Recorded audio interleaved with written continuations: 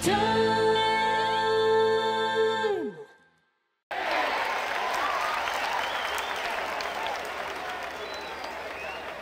welcome back. It's time for another Dueling Excel podcast. I'm Bill Jelen from Mr. Excel. We'll be joined by Mike Girvin from Excel is Fun. This is our episode 194, the cell address of matching values. All right, today's question from DW. I want to get the cell reference when an item in list number two is in list number one. So right here, when we're looking at this 59, uh, it is actually in cell B10. DW is looking for us to tell him that it's in B10, but you see a lot of them are not found. So, my thought process on this is there are two easy ways to get a cell address either the address function or the cell function with the address uh, argument. So let's take a look at those. All right, so there's address. This is a function that I hardly ever use, and I'm not sure what I'm supposed to put in there. So a great trick that popped up from Nabil Murad and also from Deborah Dalgleish uh, in the last two weeks. If we not press Control A, but Control Shift A, it will insert the function names. Uh, so we can you know figure that out. So uh, if I would just, for example, put in here H7 and then column number one, and then absolute, do we want dollar signs, dollar signs just on the row, dollar signs just on the column, or relative? I'll choose relative. Uh, and then do we want A1 style? Of course we do. So that's a one, and sheet text, we don't need to prefix it with sheet. All right, so that successfully returns A1. But then the big question is, what would happen if we, instead of H7, said H7 hash? So in other words, that whole array, the whole sequence array over there. And address works great with an array. It returns all of those values. Another way to do this is using the cell function. And in the first argument, we say we want the address and then H7. But the question is, when we put in H7 hash, will it return the cell addresses from all of those items? And the answer is no. Right? So address can work with arrays, and cell cannot work with arrays. I'm just going to take a side journey here. When I initially started thinking about this, I thought, oh, this is going to be one of those great uses for where we can use XLOOKUP with a colon next to it, right? XLOOKUP, if we just did XLOOKUP of D9 in list one, returning list one, we'll get the 59 that we were looking for. So there's the, the D9 and it gives us the 59 there.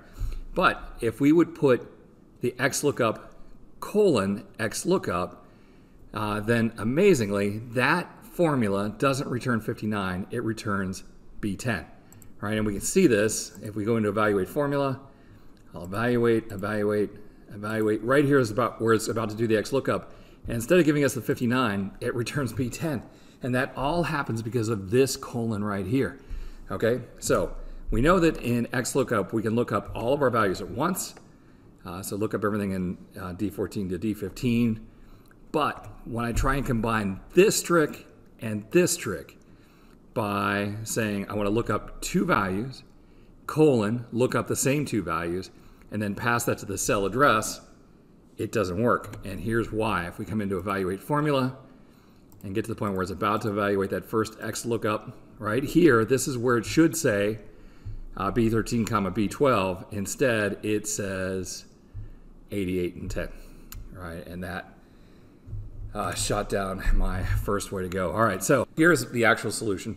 Uh, and for me, it was three steps uh, to get this. The first thing I want to do is use XMatch, the new function, uh, to locate where the item is in list 01. So simple little function. Uh, look up all of these values here in list one, and that's all. We don't need to say it's an exact match because it's it's automatic. Uh, so the first one, seven, is the second item in the list.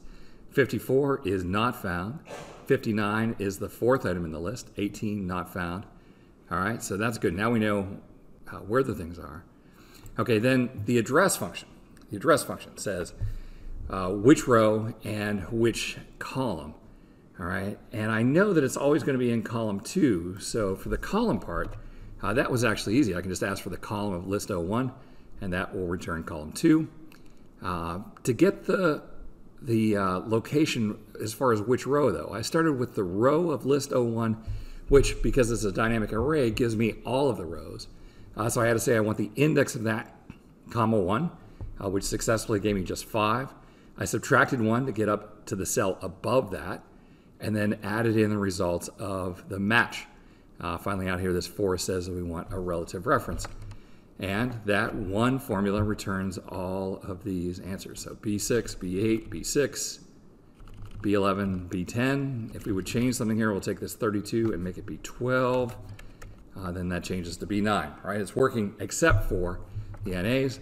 So finally, just wrap that whole thing in if NA uh, and display quote, quote. All right, so a single formula using address uh, to return all of those answers. Mike, let's see what you have.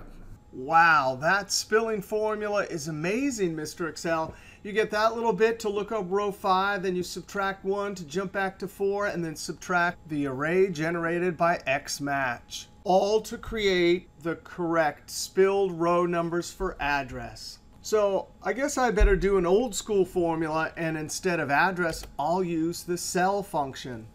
Now, anytime you're comparing two lists, match function is the way to go. We're looking that up within this list right here. That's a defined name, so it's automatically locked. And we're looking for exact match. So unlike X match, we have to put the third argument and say do exact match. That will tell us the relative position when one of the items is in the list. There's the fourth position, or NA. I'm going to put that inside of index because I really want to look up the cell reference. So we're looking through there, comma, and there's the row number. Now, of course, if you enter it into the cell, it returns the actual value. But F2, if you put index function in the context of a cell reference by using the cell function, and we ask for the address in the first argument, then index will know to deliver the cell address. Close parentheses. And to populate it through the cells that are highlighted, I use Control Enter. There we have our cell reference. Oh, but this is not like the address that gives us that cool argument where we can put a 4 to get relative cell reference, it's always going to deliver it with dollar signs. So F2, now we use substitute. That's the text, comma. The old text we're searching for is a dollar sign. And we'll replace it with double quote, double quote, which means nothing. Close parentheses, Control Enter to populate it all the way down. Now, I think if NA came in 2013 or 2016, so if you're in earlier versions, we're going to have to run the if formula. Now, that's the little bit that compares the two lists. So I'll copy that. And right after the equal sign, I'll say if. And then we'll use is NA, and we'll paste the match. Close parentheses. There's the logical test. If it's true, then I want to show double quote, double quote. Now, technically, that's a zero-length text string, which will show nothing in the cell. Otherwise, it'll run the formula close parentheses, Control Enter, double click and send it down. So if you're in an older version, that formula will work. Now, let's see if we can get the let function. This is Microsoft 365, so the latest version. And I'm, before I use let, I'm going to use XLOOKUP to try and look up a reference. There's our lookup value, comma, the lookup array, comma. And with XLOOKUP, I have to list it twice since there's only one column. And if I copy that down, of course, it delivers the value. But now, if I put it inside of row, this is a context where a cell reference is expected. And so like index, XLOOKUP is delivering the reference, and row can see it and deliver the row number. And for 59, that's exactly what we need. F2, now I did that just to see if it would x lookup would work. Now let's do let. And the name of the variable we're going to use is get. And then that'll be x lookup. And the advantage to using let is, of course, we're going to use this a couple of times. And let defines it as a variable and calculates it only once, comma. Our formula will be if na address and then in the first argument, it needs the row. And that's the get variable, comma. And for column, we'll use column and the get variable, comma. And there's that beautiful 4 for relative cell reference. Now for comma, value of NA will show nothing. Double quote, double quote. Close parentheses. And there's our formula. We have one variable x lookup and our formula. it has that single input, and so it's going to deliver a single output. But since I have the whole column highlighted already, I can populate this with Control Enter. All right, so super old school, super new school, except for it's not spilling. All right, I'll throw it back to Mr. Excel. Well, isn't that cool? Two different ways, Mike. One using cell and one using address. Uh, both have to be copied down. But the thing that I learned there that I used to know and I forgot, uh, in addition to having the colon next to X lookup to coerce it into a reference uh, index, row, and column, all are tools for getting that reference out of X lookup. Very, very cool. Well, hey, I want to thank everyone for stopping by. We'll see you next week for another Dueling Excel podcast from Mr. Excel, Excel is fun. Oh my, it's dueling Excel time. Stand by, it's dueling Excel time. It's dueling Excel time.